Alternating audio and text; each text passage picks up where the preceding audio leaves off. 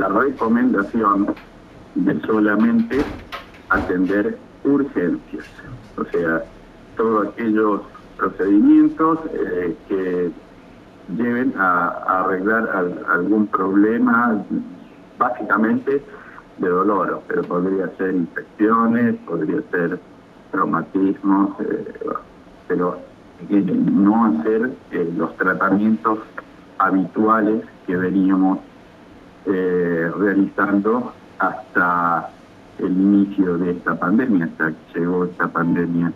Bien, solo urgencias. cuarentena. Solo urgencias. Solo urgencias, sí.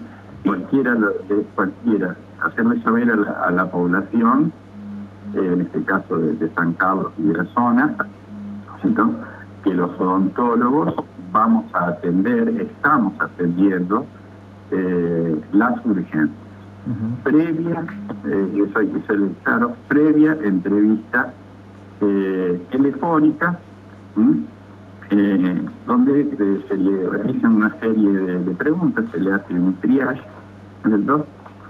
para tratar de que este paciente en una de esas veces se le puede resolver el, tema de forma telefónica y no se tenga que desplazar este, hacia, hacia los consultorios. Otras veces eh, no. Eh, y también, bueno, con ese triage lo que se elimina también la posibilidad de que el paciente tenga algunos síntomas eh, que lo que lo hagan sospechoso de tener este, o ser portador de, de, coronavirus. este es uno de los problemas más grandes que tiene el COVID-19, eh, la enfermedad de COVID-19, que tiene un periodo de latencia, que algunos hablan de cuatro días, otros hablan de nueve días o diez, eh, en el cual el paciente se puede eh, sentir asintomático. y, pero en este momento es el momento de la mayor carga viral. Y es cuando más este, o potencialmente eh, puede llegar a contagiar eh, a las personas. Entonces, eh, ante la ausencia generalizada de test, hasta quizás podemos llegar este, más tarde, o sea, hay un periodo en que desconocemos que el paciente está, está contagiando. Claro. Y, ustedes tienen mecanismo, digo, porque ustedes trabajan este, obviamente sobre la boca del paciente, eh, es el, lugar de, uno presupone, ¿no? Digo, dentro de mi ignorancia, presupone que el mayor lugar de contagio. Ante esto, digo, eh, ¿tienen mecanismos de, protección o lo que conocemos? ¿La máscara habitual, la máscara esa de, acrílico? Sí, mira, o sea, de, hecho, eh, es cierto lo que decís, hace un par de semanas salió este, una publicación en el New York Times eh, donde con una estadística, una tabla de quiénes eran los profesionales más eh, expuestos a recibir un posible contagio. Eh, el número uno nos lo llevamos nosotros, al menos en algo que nos lo llevamos. de hecho, como dicen, la norma de mantener una distancia social que varía entre un metro y medio, dos metros, según que no dice, pero básicamente es así.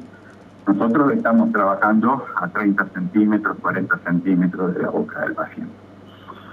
Eh, nosotros venimos trabajando en bioseguridad más o menos desde la época del año 80. Eh, hay dos aspectos a tener en cuenta.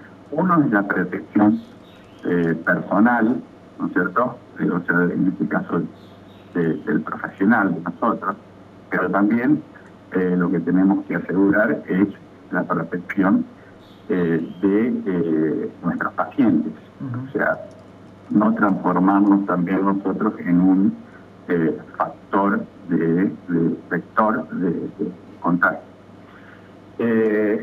estamos, este momento lo que están faltando son insumos, ¿eh? Eh, o sea, yo creo que a partir de esto eh, los pacientes cuando regresen al consultorio se van a encontrar con otra odontología.